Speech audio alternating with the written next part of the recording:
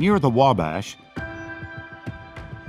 surrounded by brick and beauty, Purdue is more than a place, it's home.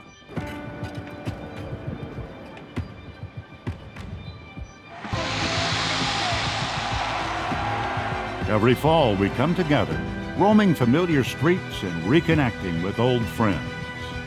We remember giant leaps of the past And imagine the giant leaps yet to come. But mostly, we celebrate. Our gold and black spirit runs deep in our hearts.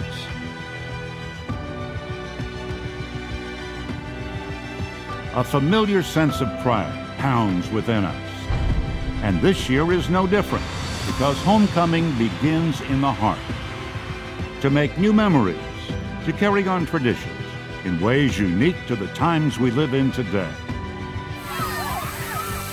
From fountain runs to touchdown passes,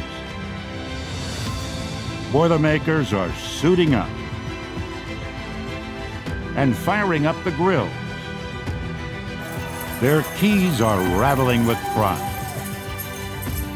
No matter what, Boilermakers make any place our own Purdue.